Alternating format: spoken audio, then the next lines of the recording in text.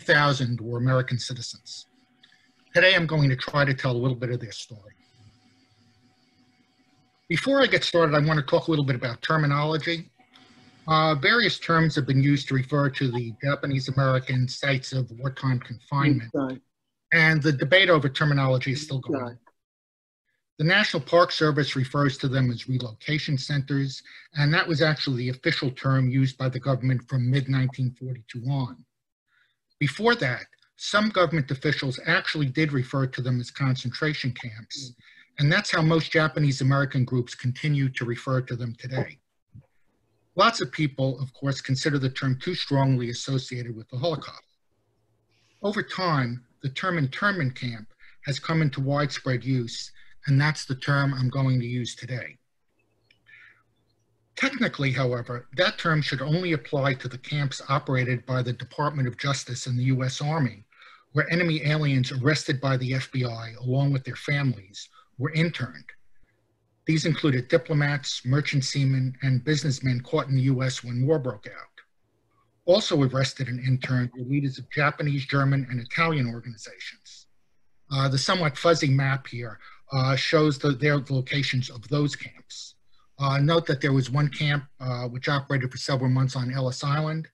There was also uh, another that operated for several months at the Army's uh, Camp Upton near Yaphank here in Suffolk County. These camps were separate and distinct from the camps operated by the War Relocation Authority, uh, or WRA, which is my subject today. Today, I'll also be using the term Japanese Americans to refer to both individuals born in Japan and living permanently in the US, known as Issei, and their US born children, known as Nisei, who were American citizens by birth. Anti-immigrant and anti-Asian sentiment, sentiment has a long history in the US, and we see this reflected over the years in numerous laws and court decisions. In 1894, a US district court ruled that Japanese immigrants could not become citizens because they are not, quote, a free white person, as the Naturalization Act of 1790 requires. In 1907, Japan agreed to halt the migration of Japanese laborers in the, into the United States. Uh, this is referred to as the Gentleman's Agreement negotiated by Teddy Roosevelt. In exchange, the US agreed to allow the children of Issei to attend US public schools. Supporters of the 1924 Immigration Act stressed Anglo-Saxon superiority and foreigners as threats to jobs and wages. It set quotas at 2% of each nationality residing in the US in 1890. Although it was aimed primarily at Jews, Italians, Slavs, and Greeks, it effectively ended all Japanese immigration to the US. This figure shows the age distribution of the individuals interned in 1942 in relationship to these acts. Because of these acts, almost all of those over 30 were Issei, while almost all under 30 were Nisei and American citizens. These two groups dealt with internment in very different ways. The story of the camps begins on Pearl Harbor Day. Anti-Japanese sentiment sprung up almost immediately, as evidenced by pins such as this, which appeared immediately after Pearl Harbor. A month later, the city of Los Angeles fired its Japanese American employees. According to the mayor, it was for the safety of the city. You can see this quote here from the New York Times.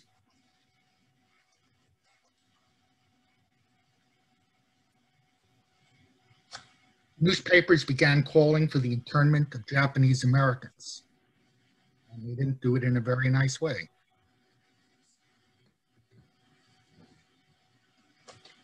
Some of it was really uh, hate speech as seen in this uh, Los Angeles Times editorial.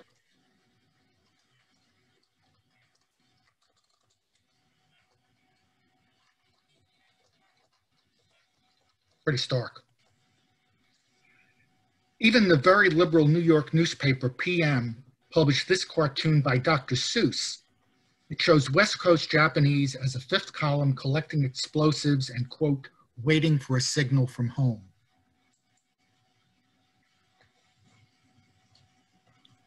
In March, the University of California fired its 14 Japanese faculty. Also fired was 16 Italians and Germans, some of whom were refugees from fascist and Nazi oppression, who were in the, actually in the process of applying for US citizenship. In Seattle, the school system forced its Japanese American employees to resign. All but one of the clerks fired had actually attended Seattle City High Schools.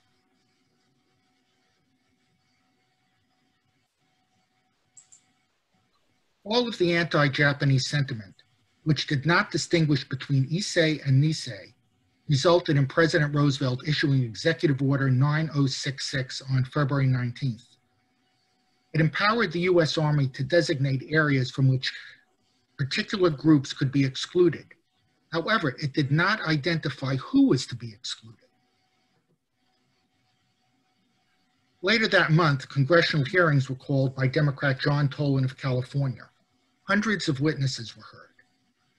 On February 27th, Idaho Governor Chase Clark told the committee that Japanese would be welcome in Idaho only if they were, quote, in concentration camps under military guard. Among the witnesses was James Omura, an LA journalist and radio commentator, who asked if the Gestapo had come to America. We'll see a little more extended quote.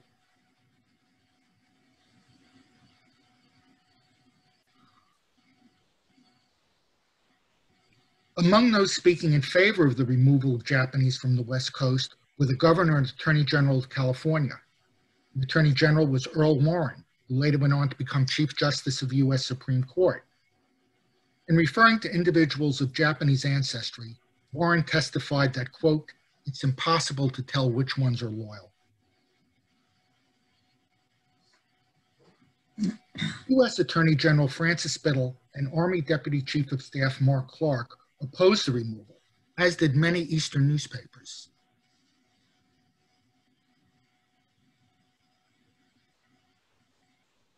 Surprisingly, national civil liberties groups such as the ACLU and the Japanese American Citizens League did not object, although local chapters often did.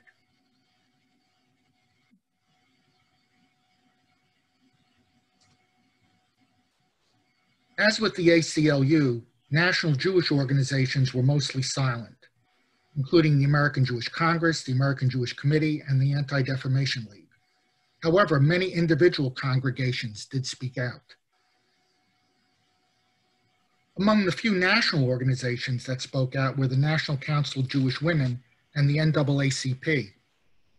The September 1942 issue of the NAACP's magazine contained a cover story entitled Americans in concentration camps. The article noted that, quote, color seems to be the only possible reason why thousands of American citizens of Japanese ancestry are in concentration camps. Anyway, there are no Italian American or German American citizens in such camps.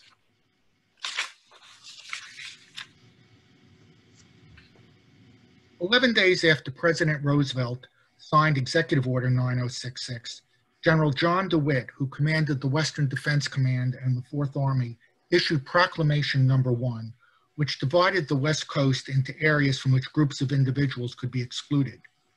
Uh, DeWitt's mindset can be seen in this quote from a report he authored just over a year later.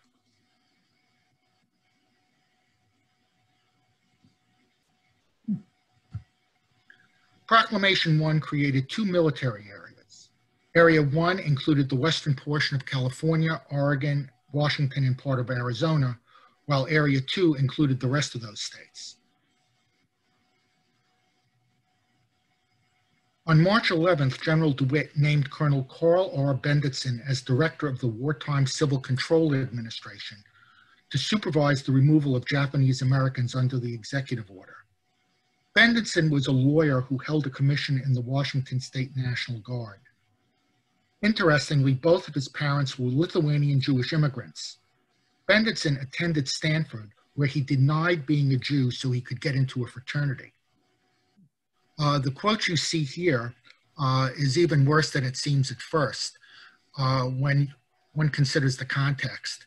This was Bendetsen's response when he was asked, what about children of mixed race in orphanages? And his response was, if they have one drop of Japanese blood, they have to go to camp. On March 18th, the War Relocation Authority was established and Milton Eisenhower, brother of Dwight Eisenhower, was named director. The WRA was the civilian agency in charge of the camps. Eisenhower resigned after just a few months. He told his successor that he had not slept since he had taken the job. One week later, using the authority given by the executive order, Exclusion Order 1, covering Bainbridge Island near Seattle, the first of 108 such orders, was issued by General DeWitt. All of the exclusion orders followed a pattern. A geographic area down to specific streets and blocks was identified, and all heads of Japanese American households were given just 48 hours to report to a specified location for instructions. Evacuees were advised what they could and could not take with them.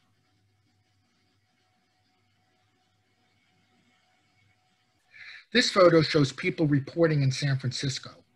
The photo is by Dorothea Lange, and I'll have a lot more to say about her in just a bit.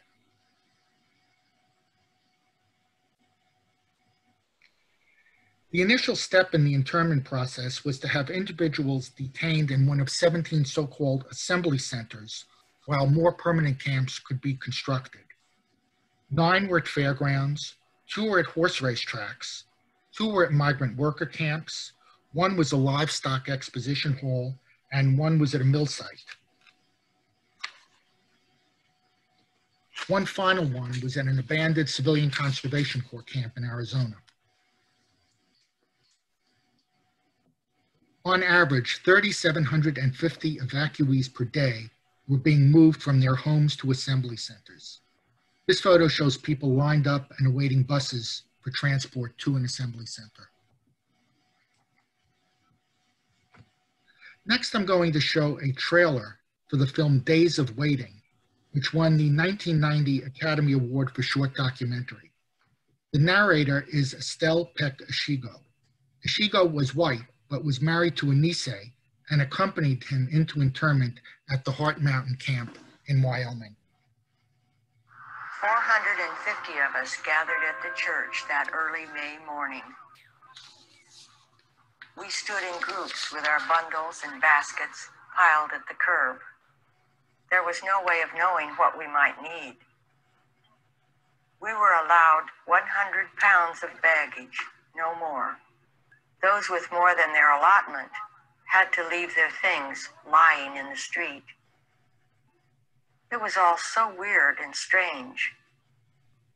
I took out my notepad and began sketching. Kindly Red Cross women brought trays of hot coffee, but nothing could quell the bitter weeping of some of the evacuees. One young girl hid her face in her hands, began to cry, and was seized with a heart attack. Her family carried her into the church and stayed with her until she died.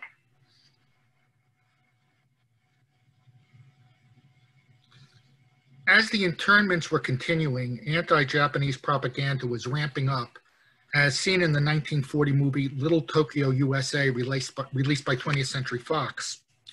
Uh, it should be noted that reviewers for the Office of War Information found the movie highly problematic. One reviewer asked, did someone mention that we're presumably fighting for the preservation of the Bill of Rights?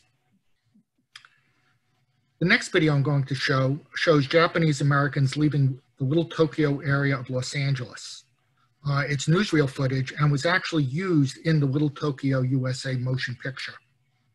Uh, note especially the deserted businesses shown at the end of the clip.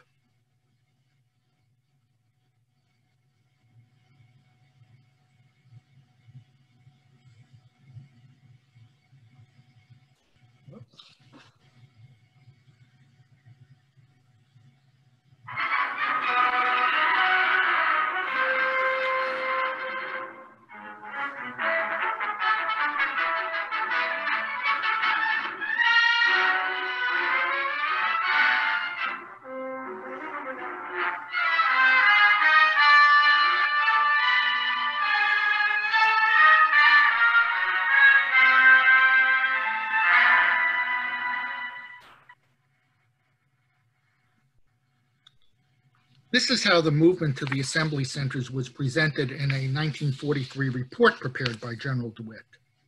The caption indicates that the women were about to board a trolley to the Santa Anita Racetrack Assembly Center. A newspaper quoted one couple saying that it would be the honeymoon vacation they had never had. This is Santa Anita Racetrack, just prior to its opening as an assembly center on April 6, 1942. Here you see individuals arriving uh, at Santa Anita.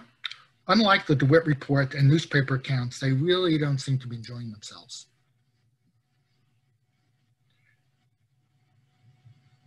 As the camera moves back, uh, you can see part of the reason for the anxiety.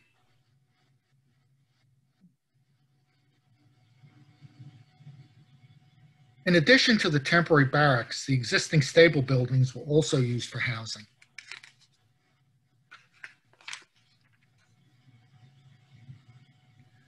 This is Roy Matsumoto, who as a young bachelor was housed in one of the stables at Santa Anita. In this video, he describes what living conditions were like. Uh, you need to listen carefully because uh, he has a strong accent. The conditions are bad because they put him in a horse stall because, of, because on account of I'm the butcher. So everybody butcher is stepping with the horse slip. And uh, then uh, horse manure on the ground and piss all over on the wall. And there's the whitewash, but there still smells, you know and uh, have to pick up these uh, hays for it, in make, making the mattress, you know, and picking up these straws and more miserable, and it made me more mad, you know. But instead of, you know, I, I figured that way, a lot of people worse than me, because I lost, you know, tractors and truck and farm equipment, everything. But I didn't have much. Only thing I lost was the uh, bank, you know, saving and not much. And, In mid-1942, the first permanent internment camp was opened at Manzanar in California. Nine more camps were eventually opened. And you can see the distribution. Uh, somebody was asking earlier about the camps in Arkansas. Uh, interestingly, they were the only camps uh, located on private property, which the government leased. All the other camps were located on property that the government had some control over or some relationship to. Here we see people departing Santa Anita from Manzanar. Manzanar was located uh, in the Owens Valley, about 100 miles from Death Valley, which gives you some sense of what the climate was like. Uh, the original sign in the lower left and the National Park Service's reconstruction in the upper left, or in the upper left. Uh, note that the term relocation center had come into official use by the time Manzanar opened. Uh, the photo in the lower right is of a reconstructed guard, guard tower. This next video uh, is from a newsreel documenting the arrival at Manzanar.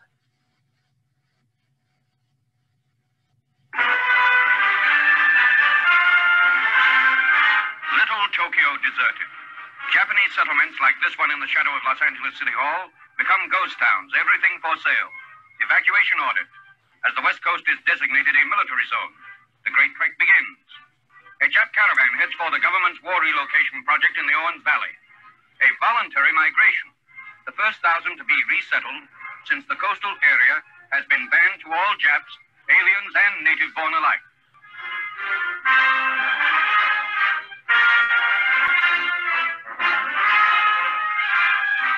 Manzanar, California, a town just being born reception center for the new settlers.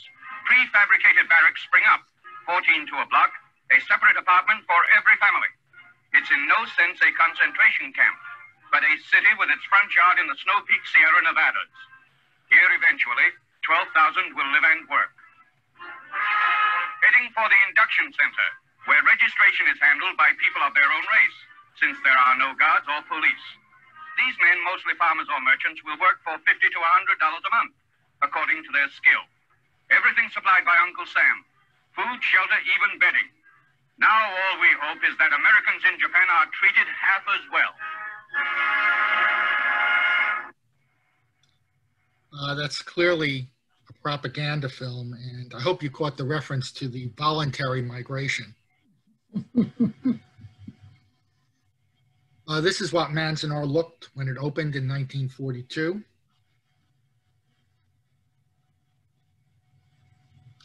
Uh, each barracks building measured uh, 120 by 20 feet and was divided into six rooms.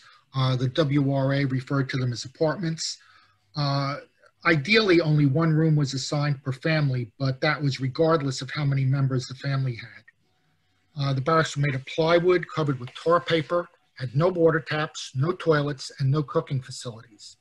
The smallest room designed to hold four commonly housed a family of seven to share small living quarters with complete strangers. Uh, this is a quote from a 1943 War Location Authority report.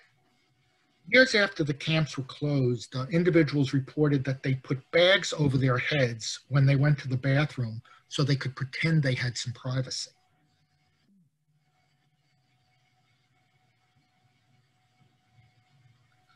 So far, we've seen a number of photographs by Dorothea Lange. In 1942, the War Relocation Authority hired Lange to document the relocation process. Uh, they really didn't know what they were hiring, who they were hiring. The photo at lower right shows her at work. Apparently, she was hired because she lived in California and had previously worked as a government photographer.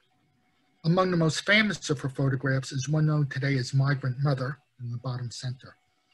That earlier work, which is widely exhibited to this day, is much more widely known than her work at the internment camps. This past February, the Museum of and Art opened an exhibit of her work, but it was cut short by uh, the COVID closing. The WRA imposed restrictions on what Lange could photograph. No talking with internees, no pictures of barbed wire fences or watchtowers or armed guards, no photographs of the interior of barracks in which internees lived, nothing hinting at resistance. Military police followed her everywhere.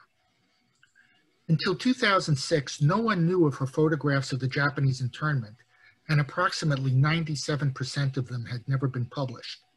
The reason was that they had been impounded by the Army and placed in the National Archives rather than the Library of Congress with her earlier work.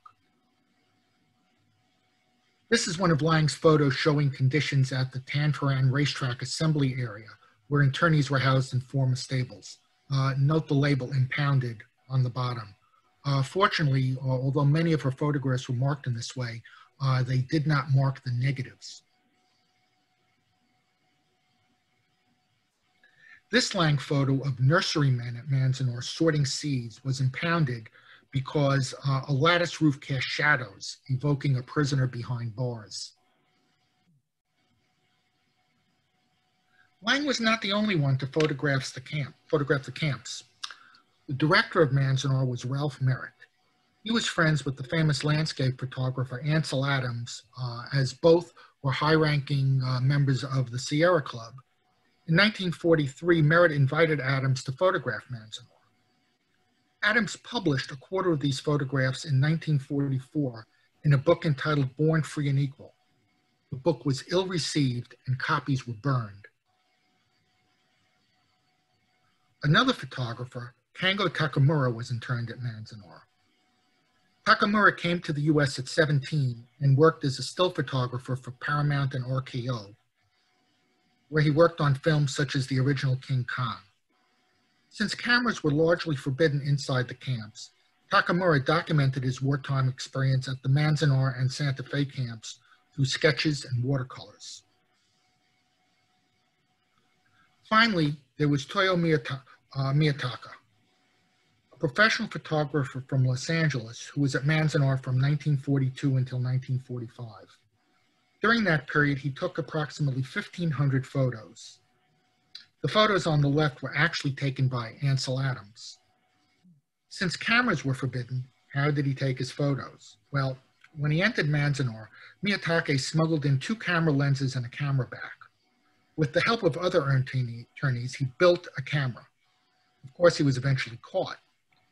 Manzanar director Ralph Merritt, Ansel Adams' friend, told him he could continue, but a Caucasian would have to click the shutter. This would allow Merritt to say that no Japanese were taking pictures.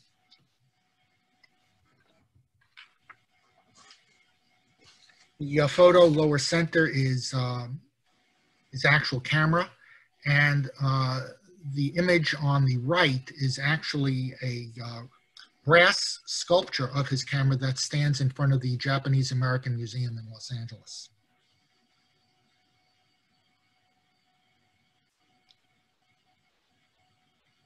Now going to show how these photographers captured similar scenes, but with their own distinctive eye. This is Manzanar in the snow is photographed by Adams. Uh, it's really a landscape. Uh, people are merely dots. Here's a watercolor by Takamura showing essentially the same scene. But note the drum in the foreground, which gives the image an entirely different feel. This is roughly the same view, although it's not a winter view, by Dorothea Lange.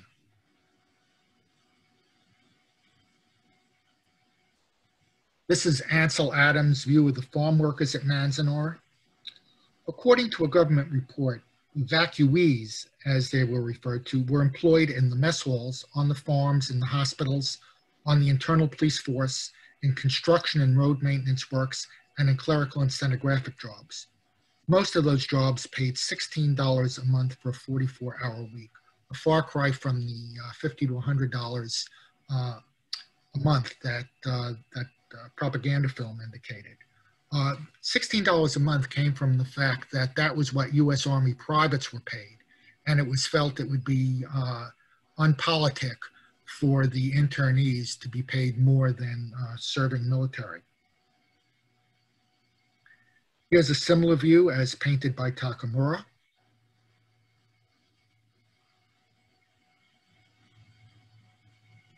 This is another Ansel Adams photo. Uh, the men at Manzanar formed almost 100 baseball teams, and the women had 14 teams. This is Dorothea Lange's perspective on a ball game. Very different.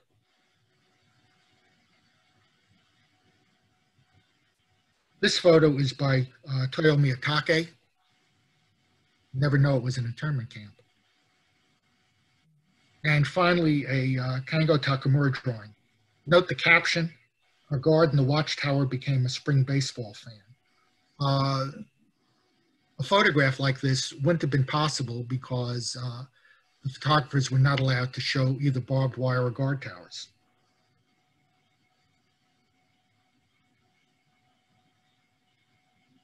This Lange photo shows people lined up to enter a mess hall. There were often multiple seatings, which resulted in long lines and wait times. Here's the same scene as drawn by Takamura.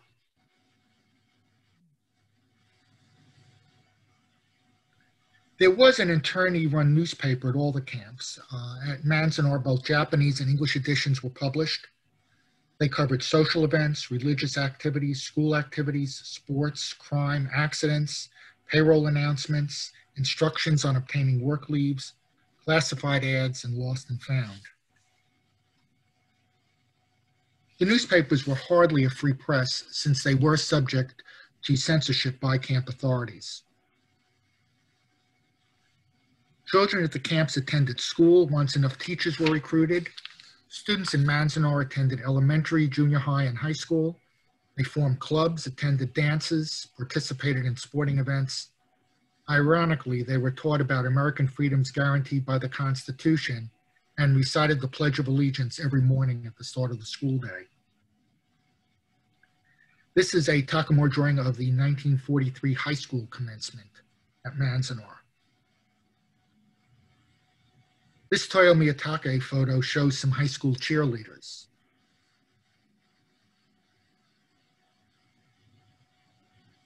Many of the photographs by Miyatake, which as I've noted were quasi-officially sanctioned by Ralph Merritt, show Manzanar in a very positive light.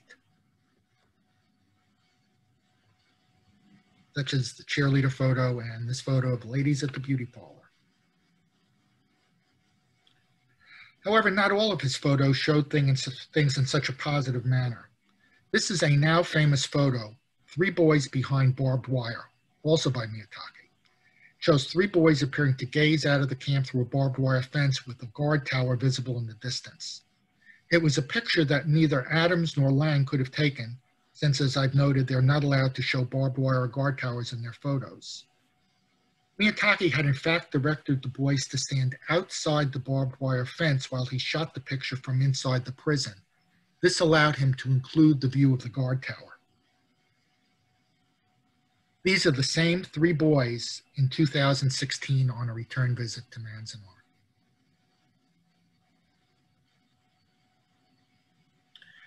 Manzanar was dedicated a National Historic Site in 1992, and it's the most intensively studied of all the internment camps and was the first internment camp at which archaeological investigations were undertaken.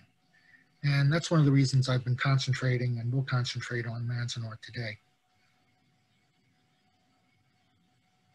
This is the National Park Service reconstructed barracks exhibit at Manzanar. Uh, former attorneys have commented that this reconstruction doesn't have the gaps in the floorboards, which allowed dust to billow in during the frequent windstorms.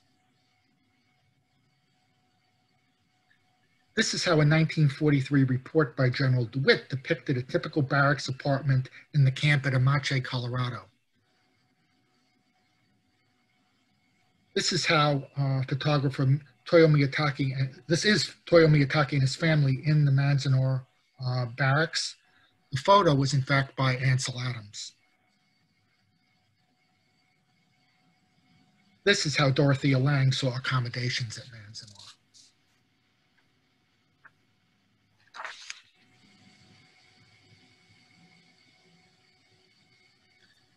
Uh, in the upper left, you can see what is typically left of the laundry and bathroom facilities at Manzanar. The other photos are of uh, the National Park Service's reconstruction.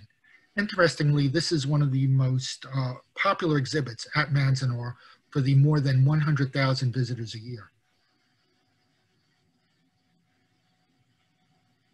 Why do archaeology at internment camps? Well, since the residents were confined because of their ethnic background Archaeology can help identify how they showed their ethnicity. Archaeology can help reveal undocumented evidence of resistance, and it can help confirm or contradict prior interpretations based only on written records and oral histories.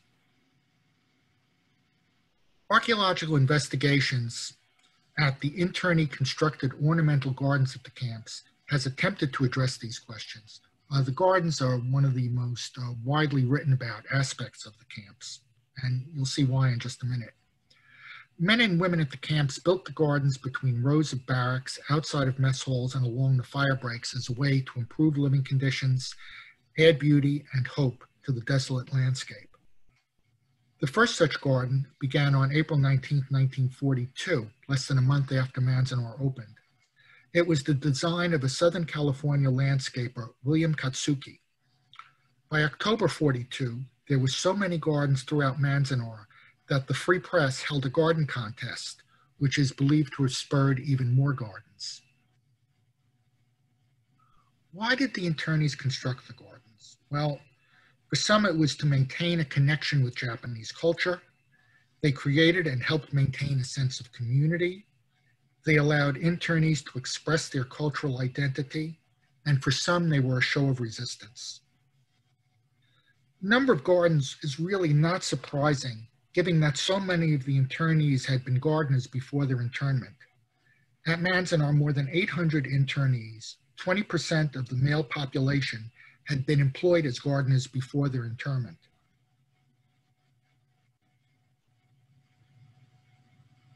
This is a map of a garden outside a mess hall based on the results of archaeological investigations. Small hills, rock and mortar features are all identified. The location of the garden between a mess hall and a barracks uh, shown at the lower right. Uh, many of the gardens were placed near the mess halls, and this was so that they could be appreciated while people were on line waiting to get in. This is a Kango Takamura drawing showing a similar garden that has appeared in 1943.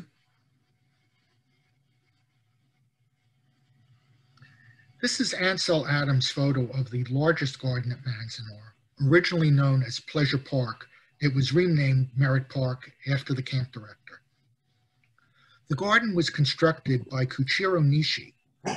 Nishi had been detained by the FBI and imprisoned at Fort Missoula in Montana, one of the Department of Justice camps, at the end of 1941. He was reunited with his family at Manzanar in June 42. He worked on the garden with a crew of volunteers for 10 months. This image is from a home video uh, taken by Ralph Merritt. That's Kuichiro Nishi standing next to the dedication monument erected in 1942 and a view of the monument as it exists today as it left.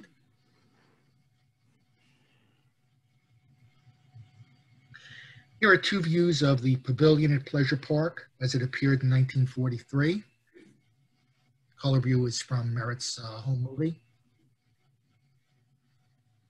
Uh, the photo on the left, uh, I think it's pretty obvious that looks staged.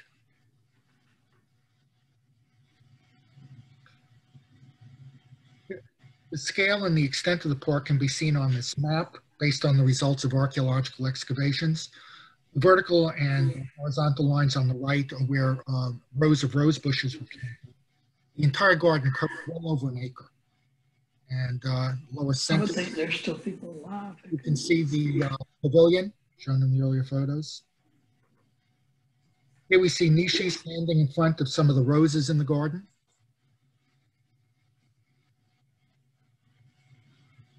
And here's another view of the garden and why it was originally called Pleasure Park. And this is from uh, Merritt's home video. This is Merritt Park as it appears today after reconstruction by the Park Service.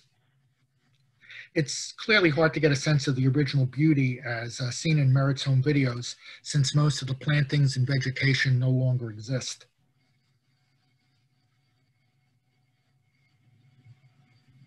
This figure gives a sense of the range of different garden designs at just five of the approximately 100 gardens at Manzanar. Each of these gardens is based on archaeological, each of these designs is based on archaeological excavations.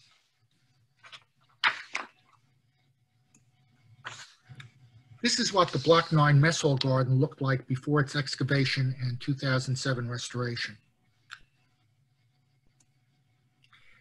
Here we see archaeologists and volunteers working on the excavation and stabilization of that same garden.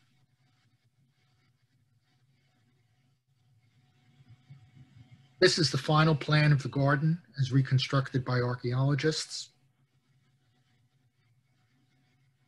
And this is what the garden looks like today.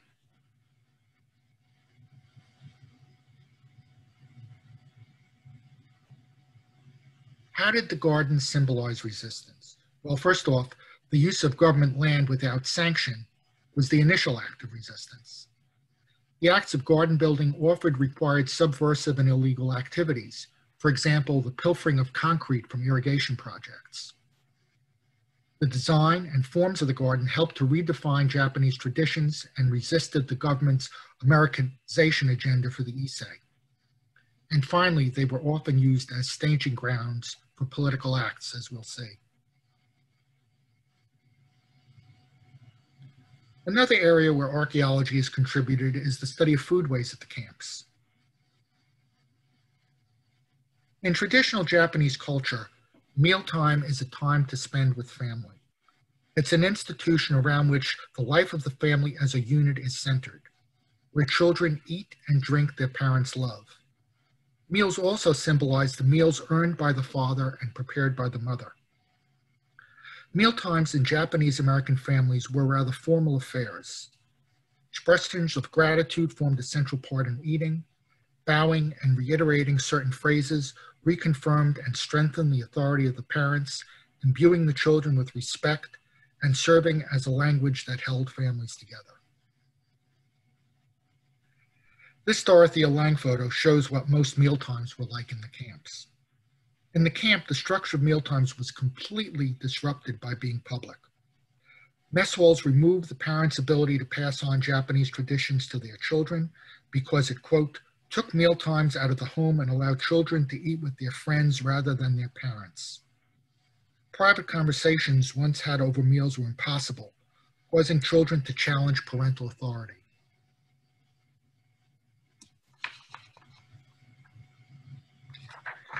This is the National Park Service reconstruction of a mess hall at Manzanar. Internees were forced to eat three scheduled meals per day in mess halls like this. Seating was unassigned and approximately 250 people were fed at a time in each mess hall. Jeanne Wakatsuki Houston, in her famous memoir Farewell to Manzanar, described her first meal in the mess hall. Quote, it was canned Vienna sausage, canned string beans, steamed rice that had been cooked too long, and on top of the rice, a serving of canned apricots.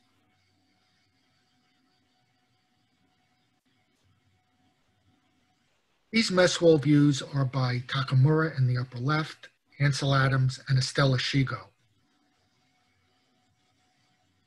As noted, meals were planned to cost an average of 45 cents per person today. Uh, initially, uh, the choice of food on the menu was a source of constant complaints. Nisei were used to more a standard American diet, while most Issei preferred native Japanese dishes. Inexpensive foods such as hot dogs, dried fish, pancakes, macaroni, and pickled vegetables were served often. Eventually, at all the camps, government farmlands were worked by internees to produce vegetables, poultry, eggs, and pork needed in the mess halls. However, everyone was subject to the same wartime food restrictions uh, and rationing as all other residents of the US. This photo by Miyatake shows internees making mochi, which is a type of rice cake, for a New Year's celebration. This is a mochi pounder excavated by archaeologists at the site of Block 8F in Manzanar. In the upper left, you can see some of the standard U.S. Army dinnerware used at Manzanar. A lot of this, including pieces of the almost 20,000 gravy boats sent to the camps, was found by archaeologists. The government dinnerware was a far cry from the Japanese manufactured porcelain, which most internees had used prior to imprisonment. Archaeology has confirmed that although internees were limited in what they could bring with them, many did bring their Japanese made tableware. These would have been prized items since they couldn't be replaced during the war.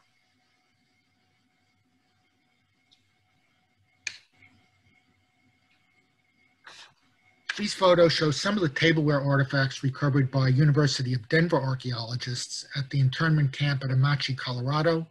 Uh, those in the lower left uh, were recovered by National Park Service archaeologists at Manzanar. In barracks cooking was prohibited, However, internees still managed to prepare tea and rice dishes using heating stoves and serve the food on tableware they had brought with them.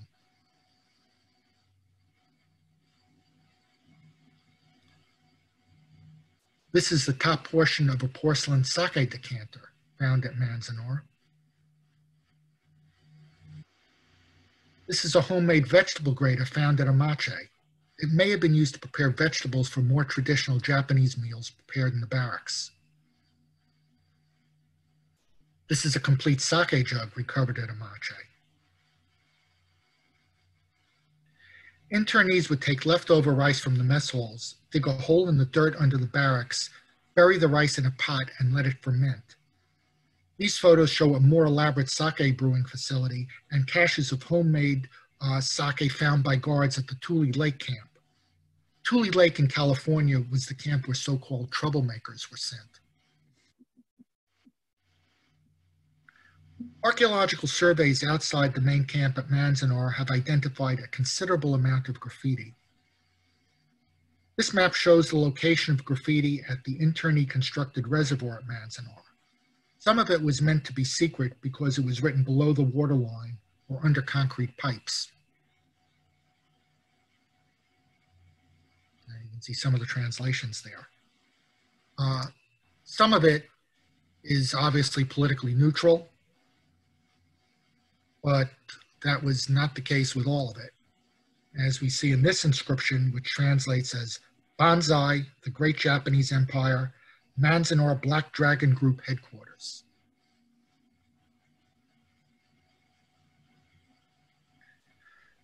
Manzanar was officially closed in 1945 although uh, the War Relocation Authority had started uh, offering in, uh, internees the chance to leave beginning in late 1944.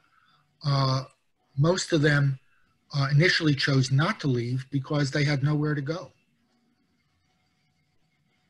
The official closing came in November 1945. As I've said, no person of Japanese ancestry living in the US was ever convicted of every, ever, any serious act of espionage during the war or sabotage.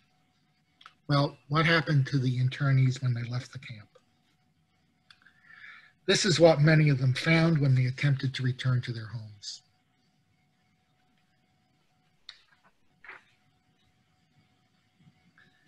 These photos, taken just after the 1942 exclusion order, explain why families lost an estimated four to five billion dollars in property. The Dorothea Lange photo in the upper left captures the plight of the 20% of the internees who had been farmers. Under California and Washington land laws, no citizen of Japanese ancestry was allowed to own land. Instead, they leased land and used their own equipment to farm it. When these farmers were interned, they had to abandon or sell their, this equipment at great loss. When they attempted to return, they found their farms had been sold or leased to others. Former internees have a two times greater incidence of heart disease and premature death compared to non-interned. The monument shown here marks the cemetery at Manzanar. Almost 500 people died at Manzanar, 15 were actually buried here, but only five uh, burials remain. The rest have been reinterred by their families elsewhere. Annual pilgrimages are held here every year as they are at all of the camps.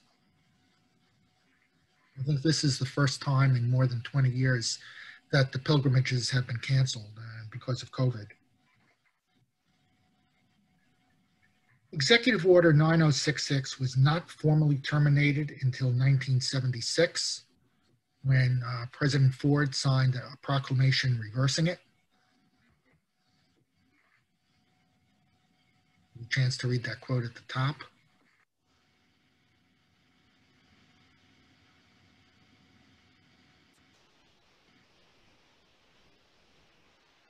Civil Liberties Act of 1988 granted each surviving internee about $20,000 in compensation. The act stated that government actions had been based on, quote, race, prejudice, war hysteria, and a failure of political leadership, unquote, as opposed to legitimate security reasons. More than 82,000 individuals received checks, although it should be noted initially uh, only Nisei were qualified to receive awards. Nisei were not. Uh, there's a lot more to the story, and I'm just going to uh, go into a few of the uh, additional items about the camps that uh, I personally found extremely interesting. For example, there were non-Japanese interned uh, in the camps. We've seen today some of the drawings by Estelle Peck Ishigo, uh, and the video about her. She went into confinement with her husband. Uh, Ralph Lazo, in the center photo, was a 17-year-old Mexican-American. He was so outraged when he saw his high school friends being interned that he joined them on a train taking them to Manzanar. Officials there never asked him about his ancestry. Elaine Black Yoshida uh, was a well-known union organizer uh, she was known as the Red Angel. She went into confinement with her husband. And these are just a few, there were many others. Canada also interned their ethnic Japanese under conditions that were actually considerably more harsh than those in the American camps.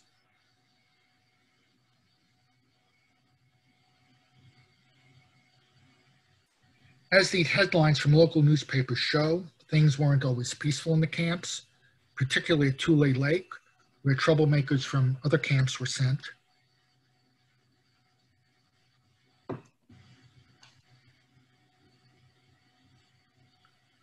Four internees were killed by guards at the WRA camps. The first two killings occurred at Manzanar on December 5, 1942. That day, six masked internees attacked Fred Tayama, another internee, because he had publicly supported the camp administration. The Manzanar Internal Security Police arrested three men for the attack and put two of them in the Manzanar police station, but they took the third to the Inyo County Jail. The third Nisei had angered some Manzanar officials because he had accused them of diverting sugar and meat intended for internees to the black market. On December 6th, hundreds of Manzanar internees gathered to demand and got the return of the third Nisei to Manzanar. However, by nightfall, about 500 demonstrators started to walk toward the police station. The Manzanar director called in the military police and they formed a rank in front of the station. The MPs were armed with rifles, shotguns, submachine guns, and two heavy machine guns. They put on gas masks. An MP officer ordered the crowd to disperse. When the crowd refused to leave, tear gas and vomit gas grenades were thrown into the crowd. One eyewitness recalls an MP yelling, Remember Pearl Harbor. Then some soldiers without orders opened fire. Ten internees were shot and two were killed. The third death was that of James Wakasa. He was shot and killed by a military police sentry on April 11, 1943, at the Topaz camp in Utah for trying to leave without a pass. Investigators reported that the body was lying five feet inside the fence and in such a way that he seemingly, quote, had been facing the sentry tower and walking parallel to the fence, and the wind was from his back, making it highly improbable that he could have heard the sentry's challenge. The Army court martial trial charged the sentry with manslaughter and then acquitted him. The fourth killing occurred at the Tule Lake Camp in Northern California on May 24, 1944. James Okamoto was driving a construction truck back and forth between the camp and a work site outside the camp. A sentry demanded that he step out of his truck and show his pass. Okamoto stepped out of the cab but refused to show his pass. The sentry then hit him on the shoulder with the butt end of his rifle, and the two exchanged words. The sentry then shot Okamoto. At the court martial trial, the sentry was acquitted of the homicide, but was fined $1 for the cost of the bullet fired in an unauthorized use of government property. Tule Lake had a jail within a jail where Japanese Americans who said they would not serve if drafted were confined without charges. These were known as the no-no boys because they had answered no to two questions on a so-called loyalty questionnaire all male internees were required to fill out. Question 27 asked if you were willing to serve on combat duty wherever ordered. Question 28 asked if individuals would swear unqualified allegiance to the United States and forswear any form of allegiance to the Emperor of Japan. Both questions caused a great deal of concern and unrest. Citizens resented being asked to renounce loyalty to the Emperor of Japan when they'd never held loyalty to the Emperor. Japanese immigrants, the Issei, were barred from becoming US citizens on the basis of racial exclusion, so renouncing their only citizenship would make them stateless.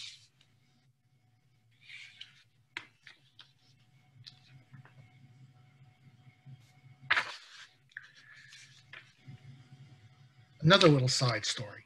The famous artist Isamu Noguchi volunteered to be interned, even though because he lived on the East Coast, he didn't have to be. He taught art courses at the Poston camp in Arizona, and these are some of the works he created while confined. Noguchi was not happy in confinement and asked to leave after just a few weeks. Initially, his request was ignored, but he did get out a few months later. There were legal challenges to the internment by internees during the war. The most famous of these cases is that of Fred Korematsu. Born and raised in Oakland, Korematsu tried to enlist in the Navy but was denied because of his Japanese ancestry. He ignored the evacuation orders so that he could be with his fiancee. He was arrested by the FBI and after spending two and a half years in jail, found guilty of violating the evacuation orders and put on five years probation. He was then taken into custody by the military police and sent to one of the Department of Justice camps. Korematsu appealed his conviction all the way to the Supreme Court. In December 1944, the court decided in a six to three vote to uphold the exclusion of Japanese Americans from the West Coast regions. The court cited reason was the war with Japan and the military necessity perceived by Congress and military leaders. In the 1980s, various U.S. district courts voided the convictions because they found that the government had withheld information refuting that the incarcerations were military necessity. And circling back, the entire concept of military necessity was the brainchild of Colonel Bendetsen, who had originally been put in charge of the relocation by General DeWitt. In 1998, Korematsu, Yasui, and Hirabayashi were awarded the Presidential Medal of Freedom by President Clinton. Story of the internment camp still has relevance. The Korematsu case is still being cited in the Supreme Court, most recently in connection with challenges to President Trump's Muslim ban.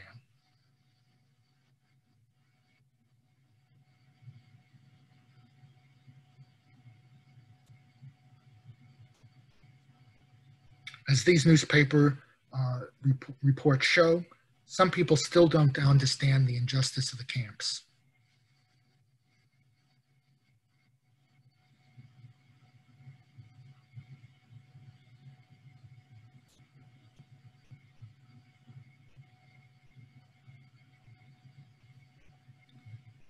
At least one lesson from the camps has had to be recently relearned. In 1939, the FBI and military intelligence pushed to relax census confidentiality rules. In 1942, the Bureau violated those rules and provided block level information on where individuals of Japanese ancestry were living. This was a big assist in locating individuals who had not reported for internment. Uh, at least one group of researchers believes that the Bureau also released so-called microdata, that is information about individuals including names and addresses. In 2000, the director of the Census Bureau issued a public apology, noting that the Bureau was, quote, directly implicated in the denial of civil rights to U.S. citizens of Japanese ancestry, end quote. Ignoring this history, in 2018, the Census Bureau announced plans to ask people on the 2020 census if they are U.S. citizens. Immediately, there were concerns that this information could be used to identify undocumented aliens so they could be deported. However, in 2019, the Supreme Court put a block on the idea of a citizenship question. Recent years have seen the creation of a number of memorials to the camps. This is the Japanese American Memorial to Patriotism during World War II, which opened in 2000. It's dedicated to both the 23,000 Japanese Americans who fought for the United States during World War II and to those interned in the camps. Here's another portion of the memorial, which is located just north of the Capitol in Washington, D.C.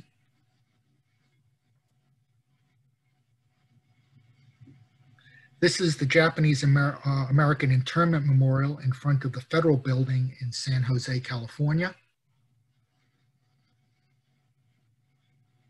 This is a detail from the memorial. Uh, the sculptor is Ruth Asawa, who was a camp internee.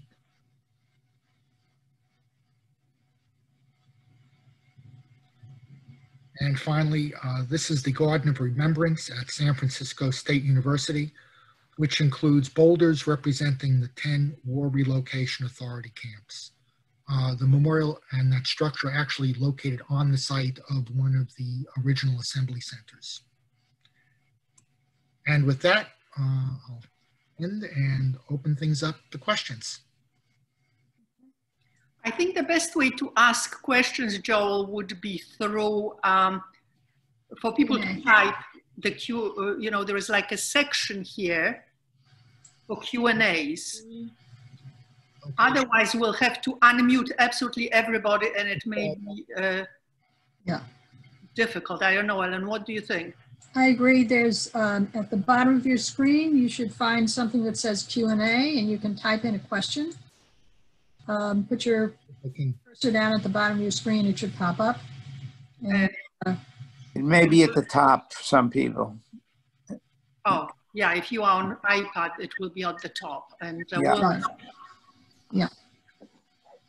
Um, Also, if you really want to ask it by hand, you know, you can uh, raise your hand. You, uh, you can do do that, and you can. I don't see any raised hands. Anybody have any questions or comments? So thinking about it, I, I have a question, Joel. Sure. So there were those no-no boys, right, that you were Yeah. talking about, that they uh, answered no to two questions that that sort of tested their loyalty towards the United States. I don't remember exactly what questions there were. But uh, does that mean that everybody who was interned was asked that question and everybody else said yes, yes? Uh, only, I believe, only uh, men of potential draft age, which at that time was uh, 18 to I think 40 or 42, I, Uh, were asked to fill out that questionnaire. The questionnaire actually came on elective service system letterhead. I see. The question is, um, why did the Japanese immigrate to the U.S. to begin with? Ah, well, uh, for work primarily, um, which was uh, one of the root cause, causes of uh, the resentment, uh, the claim that they were taking jobs away from white Americans. Uh, situation in Japan was very much akin in rural Japan as in China, but of course the Japanese population was so much smaller that they were, uh, as a percentage basis, a much smaller uh, percentage of the Asian groups coming uh, to the United States uh, in the 19th century.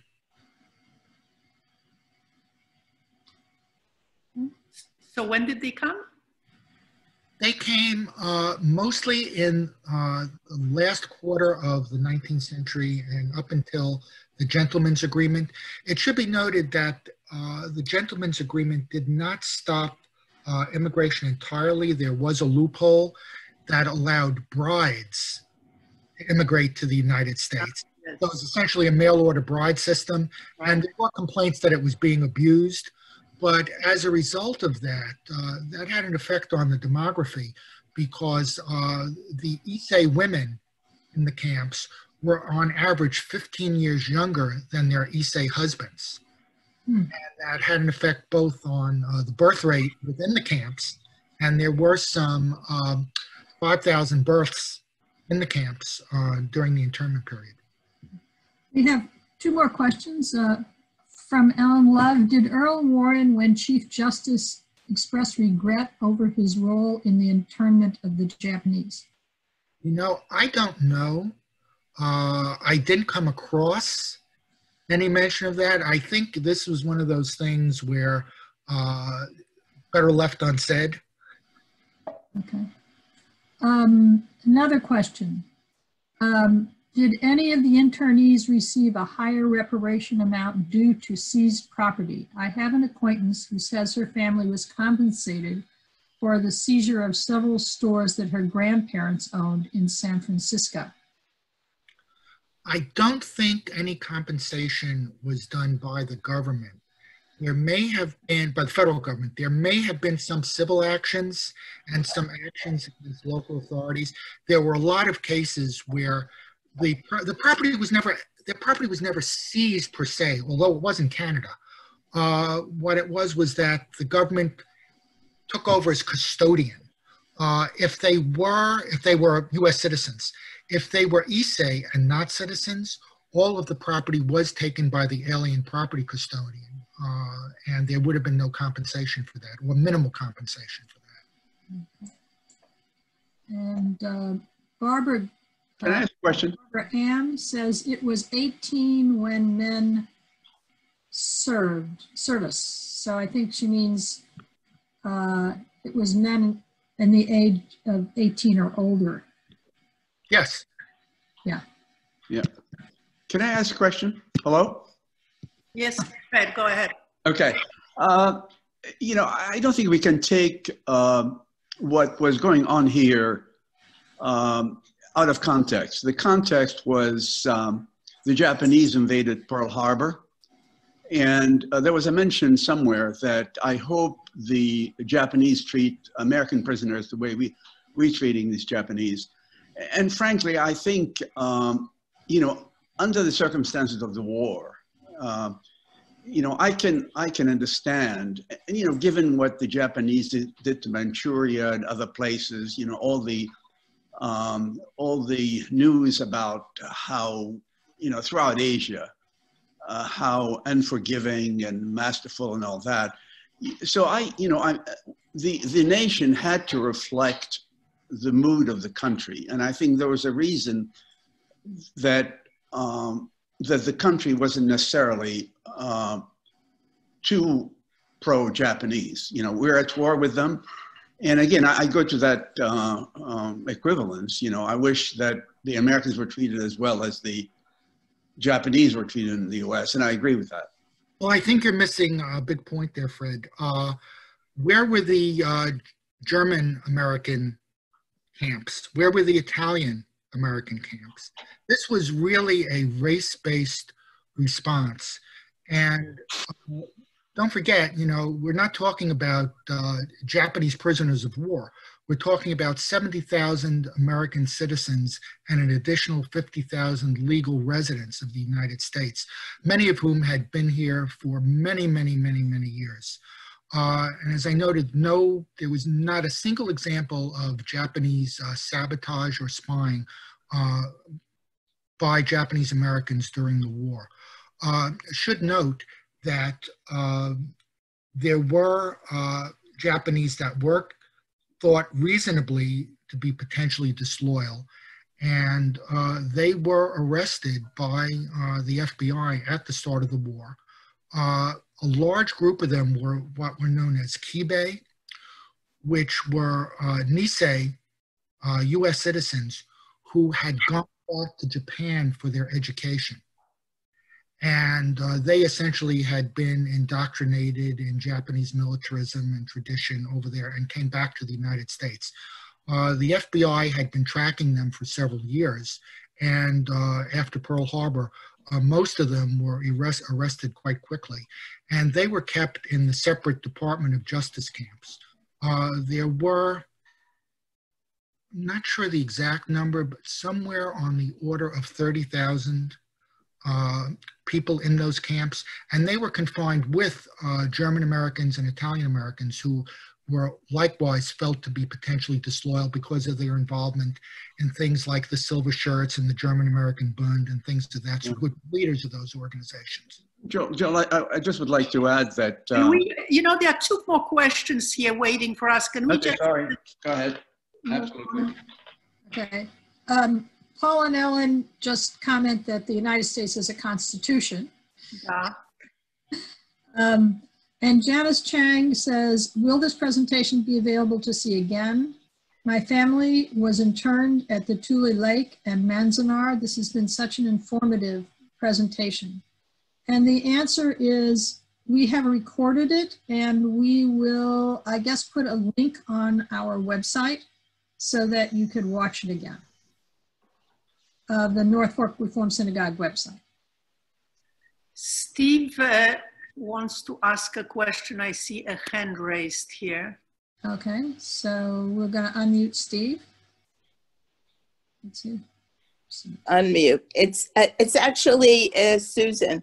And what I, I, wanted to say is we studied uh, the Korematsu case in law school and it is considered one of the worst decisions in, made in the history of the Supreme Court. Um, primarily, I mean, besides from a social and humanitarian point of view, but from a constitutional point of view, it's just the the decision may have suited the times, unfortunately, but it's totally not constitutional and, and law school professors in the 1970s certainly made that clear. You know, it, it's interesting that uh, when the cases were appealed at the district court level, um, then the basis, as I mentioned, was the fact that the government had withheld uh, exculpatory information.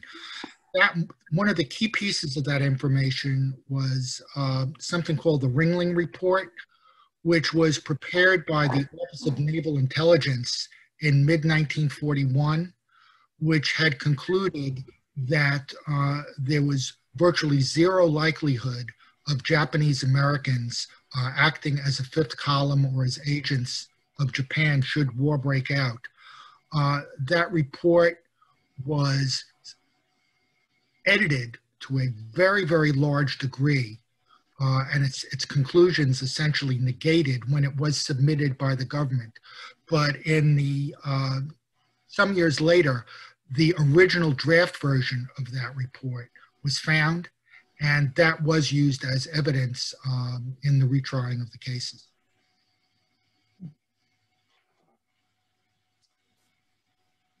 Okay, if there are no more questions, we want to thank Joel again. This was absolutely fascinating. Thank you very much.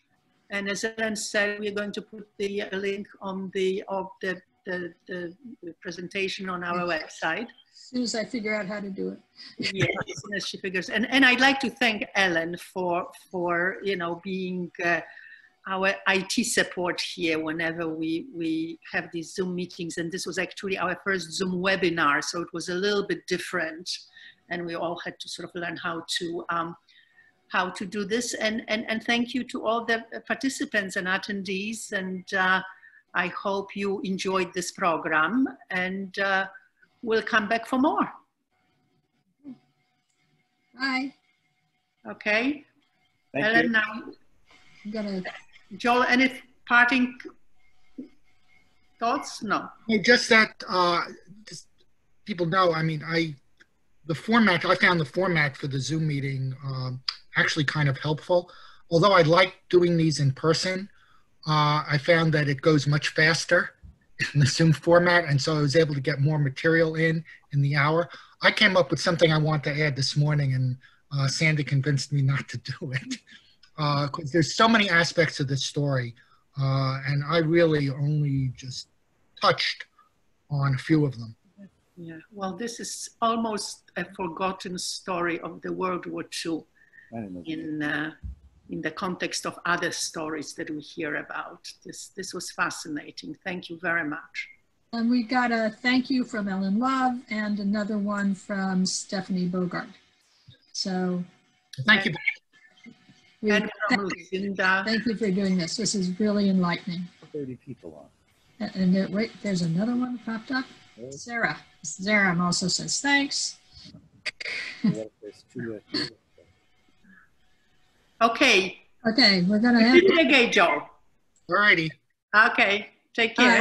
Bye-bye. Oh, there's another question. there's one more question I don't want to, oh, there's just Uh, a, It's just a a thanks from Fred Cohen. okay. Okay. Bye, everybody. Right.